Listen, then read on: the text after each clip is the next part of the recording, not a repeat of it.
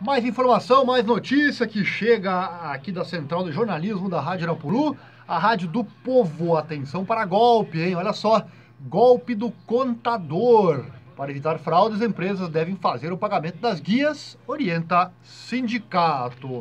Notícia recente aí para você, vamos lá.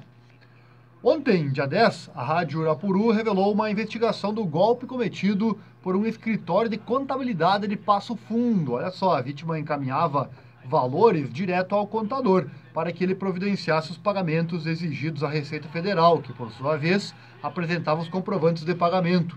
No entanto, foi comprovado que os documentos eram falsos né, e que nenhum pagamento havia sido feito. Olha só. A vítima foi lesada em mais de 131 mil reais. O presidente do Sindicontábil de Passo Fundo, Guilherme Silveira, disse que para economizar tempo, muitos proprietários da empresa deixam os valores das guias para o contador fazer o recolhimento. Mas essa prática não é recomendada. Os valores dos impostos e dos encargos são de responsabilidade da empresa, né? E não do contador ou contabilista.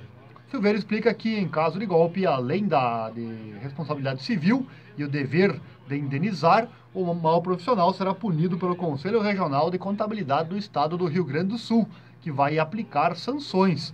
No primeiro momento, uma advertência e, um segundo momento, uma suspensão do direito de exercer a profissão contábil. Contou também que há uma série de denúncias e investigações em sigilo aqui em Passo Fundo, é, na região e também no estado que vêm sendo apuradas e também punidas, né?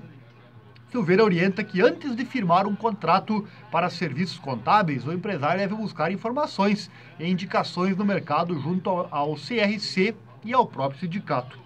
Outras maneiras de se resguardar é solicitar ao contador as negativas de débito dos impostos, olha só, e fazer acompanhamento periódico da situação da sua empresa junto aos órgãos municipal, estadual e federal e jamais deixar dinheiro no escritório de contabilidade. Essa aí é básica, né? Eu não tinha visto, quer dizer, sempre que eu lidei com empresas aí, sempre pagava eu mesmo as guias, né? Nunca imaginei que havia empresários que deixassem o valor lá para o contador pagar. Então fica a dica para você, notícia, informação aqui no seu rádio, né? Golpe do contador. Para evitar fraudes, empresas devem fazer o pagamento das guias, é, das suas próprias guias, né? É o que orienta sindicato.